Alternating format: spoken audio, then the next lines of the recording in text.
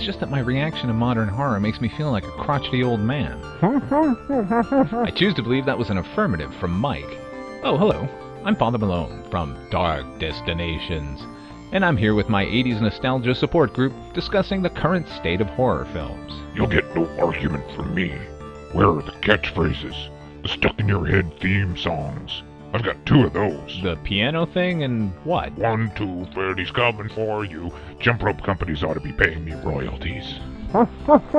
You have any idea what he said, Fred? To be honest, I've never understood one word from him. You gotta speak up, Michael. I Not a got word. nothing.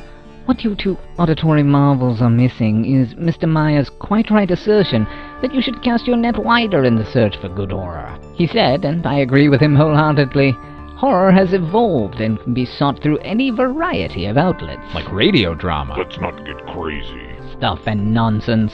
That's right, radio drama. Head on over to fathermalone.com and check out my show Dark Destinations. Excellent jest, Michael. Quite humorous.